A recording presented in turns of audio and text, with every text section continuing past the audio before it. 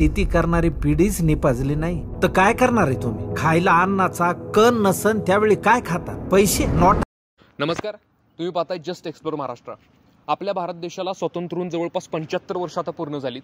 आणि आपला भारत देश स्वतंत्र होण्यापूर्वी नेताजी सुभाषचंद्र बोस यांनी एक नारा दिला होता. तो म्हणजे चलो दिल्ली.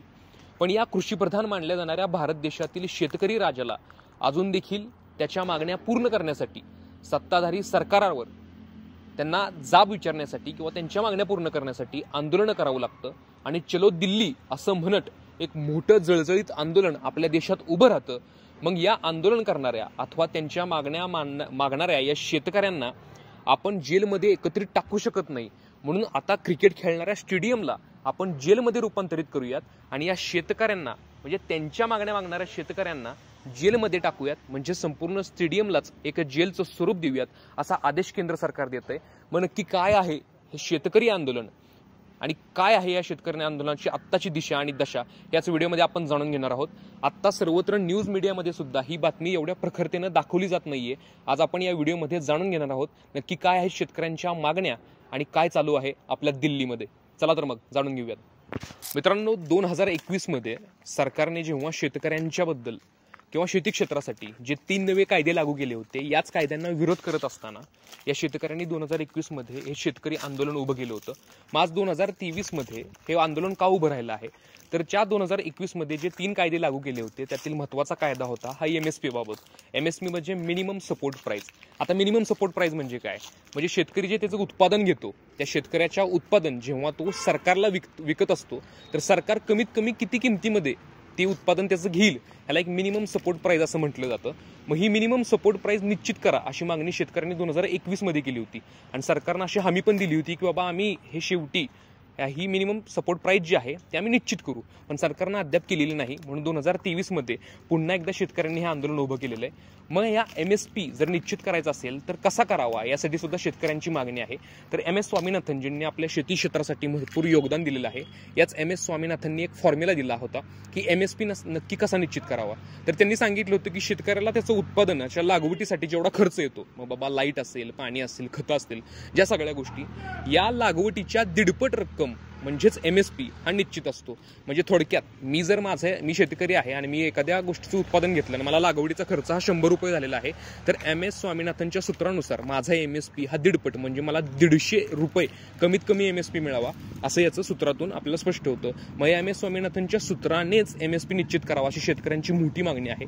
आणि मला असं वाटतं की या शेतकरी आंदोलनातील ही सर्वात मोठी मुद्दा आहे.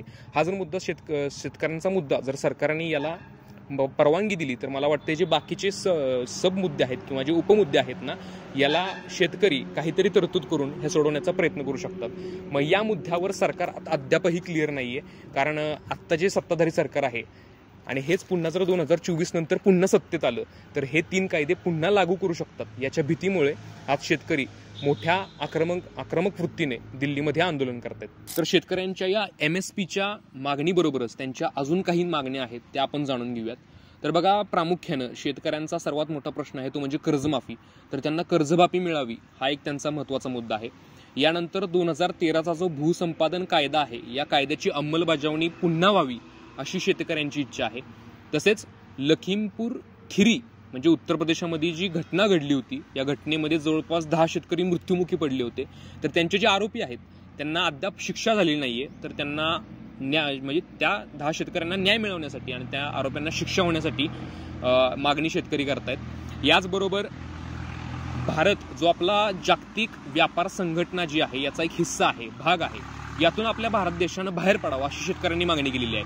म्हणजे थोडक्यात काय? आपल्या भारत देशामध्ये सरकार जे शेतकऱ्यांसाठी कायदे असेल किंवा नवीन नियम असेल जे लागू करतं हे या जागतिक व्यापार संघटनेच्या अधिपत्याखाली आहेत. यामध्ये अनेक देश याचे भाग आहेत. तर यातून भारतानं बाहेर पाडावं अशी शेतकऱ्यांची इच्छा आहे. पण मला वाटते ही जी मागणी आहे ती कदाचित पूर्ण कर होऊ शकणार नाही. कारण भारत यातून बाहेर पडला तर एक बाकी देशांच्या तुलनेत भारत एक वेगळा देश गणला जाऊ शकतो.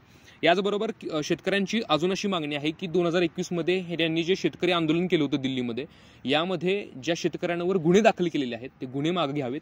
आणि याच आंदोलनामध्ये दोन हजार एकवीसमध्ये याच आंदोलनामध्ये काही शेतकरी मृत्युमुखी पडले होते तर त्यांच्या कुटुंबांना आर्थिक मदत करावी अशी त्यांची मागणी आहे. याचबरोबर सर्वात महत्त्वाची मागणी त्यांनी अशी केलेली आहे की आपल्या कृषी क्षेत्रामध्ये प्रायव्हेटायझेशनचा प्रकार खूप वाढलेला आहे. तुम्हाला आम्ही बघतच आहोत. तर हे प्रायव्हेटायझेशन कमी करावं अशी सुद्धा शेतकऱ्यांची यासोबत मागणी आहे. तर एकंदरीत अशा मागण्या ह्या शेतकऱ्यांनी सरकारकडे केलेल्या आहेत. आणि हे आंदोलन आत्ता खूप मोठ्या स्तरावर किंवा व्यापक दृष्टिकोनातून दिल्लीमध्ये सुरू झालेलं आहे. म्हणून सरकारने हे आंदोलन आता दिल्लीच्या म्हणजे मुख्य दिल्लीपर्यंत पोहोचू नये यासाठी मोठा बंदोबस्त केलेला आहे. तर केंद्र सरकारने आम आदमी पार्टीला असं सांगितलं की बाबा दिल्लीमध्ये जर ते आले तर आपण एक मोठं क्रिकेटचं स्टेडियम जे आहे त्या स्टेडियमला जेलमध्ये रूपांतरित करूयात आणि या शेतकऱ्यांना या स्टेडियममध्ये जेलसारखं कैद करून घेऊयात.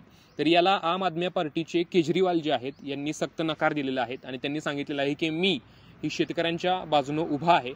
त्यामुळं हा निर्णय मी लागू शकत नाही. त्यामुळे त्यांनी केंद्राच्या या निर्णयाला परस्पर विरोध केलेला आहे स्पष्टपणे विरोध केलेला आहे. त्याचबरोबर आत्ता दिल्लीमध्ये कलम एकशे चव्वेचाळीस लागू झालेला आहे सी आर पी सीचा तर एकशे चव्वेचाळीस कलम काय आहे? की जवळपास चारपेक्षा जास्त लोकांनी एकत्रित उभं नाही राहायचं आहे त्याचबरोबर रॅली असेल असे कोणतेही मोर्चे काढण्यास बंदी आहे. जर एखादा व्यक्ती त्यामध्ये हत्यार घेऊन सापडला तर त्याला तीन वर्षाची जेल होऊ शकते. याचबरोबर जे शाळा आहेत त्या बंद राहतील. आणि सर्वात महत्त्वाचा मुद्दा म्हणजे सोशल मीडिया ज्याच्यावर चालतं ते इंटरनेट पूर्णपणे बंद झालेलं आहे. तर अशी भयानक परिस्थिती आपल्या भारताची राजधानी असलेल्या दिल्लीमध्ये ओढावलेली आहे. आणि शेतकऱ्यांच्या मागण्यांसाठीचं हे सर्वात मोठं दुसरं आंदोलन आहे. मग आता ह्या मागण्या शेतकऱ्यांच्या पूर्ण होतील की नाही हा प्रश्नच आहे कारण आता निवडणुका तोंडावरती आलेल्या आहेत आणि याचा मोठा परिणाम हा भारताच्या राजकीय क्षेत्रावर होण्याची दाट शक्यता आहे असं मला वाटतं. पण बघा या आपल्या भारत देश जो कृषीप्रधान म्हटला जातो आपण खरं तर शेतकऱ्याला राजा म्हणतो पण शेतकऱ्याचं राज पण आहे का? हा प्रश्न तुम्ही आम्ही समजून येणं गरजेचं आहे. खरं शेतकऱ्यांच्या ज्यांनी समस्या मांडल्या ती माणसांच्या कॉलरी वाईट झाल्या आहेत. ती माणसं मोठी झाली शेतकऱ्यांच्या समस्या मांडून. पण शेतकऱ्यांच्या समस्या अद्यापही सुटलेल्या नाही आहेत मग असं म्हटलं जातं की शेती क्षेत्र ही शेतकऱ्यांसाठी एक सेवा आहे. बाबा शेती ही सेवा आहे. मग डॉक्टरसुद्धा सेवा आहे. मग डॉक्टरकडे गेल्यानंतर आपण दहा वीस पैसे कमी करण्यासाठी कधी तटतो का? किंवा डॉक्टरला म्हणतो की बाबा दहा किंवा वीस रुपये कमी करा. पण शेतकऱ्यानं जर एखादा माल त्याचा उत्पन्न काढलं तर त्यासाठी आपण बाजारपेठामध्ये सुद्धा शेतकऱ्यांशी या दहा वीस रुपयावरनं वाद घालतो. मग शेती ही नक्की सेवा आहे का? असा प्रश्न मी तुम्हाला विचारतो. मग एकंदरीत हे जे आंदोलन सुरू आहे याला शेतकऱ्यांना यश येईल की नाही हे सांगता येत नाही. पण शेतकऱ्यांच्या या मागण्या मला तर तितक्याच रास आहेत कारण एम एस पीची पायरी जर निश्चित झाली तर खऱ्या अर्थानं शेतकरी भविष्यामध्ये सुखाचा श्वास घेऊ शकतो. कारण शेतकऱ्यांना सुद्धा भीती आहे की हे सरकार जर पुन्हा सत्तेत आलं तर जे जुने तीन कायदे लागू झाले होते ते पुन्हा लागू होऊ शकतात. त्यामुळे यावर तुमचं काय मत आहे ते तुम्ही आम्हाला कमेंटमध्ये सांगा. आणि अशाच नवीन विषयांवर चर्चा करण्यासाठी आपण भेटूयात जस्ट एक्सप्लोर महाराष्ट्रावरती. त्यामुळं लाईक करा शेअर करा आणि सबस्क्राईब करा. जय महाराष्ट्र. जय भारत.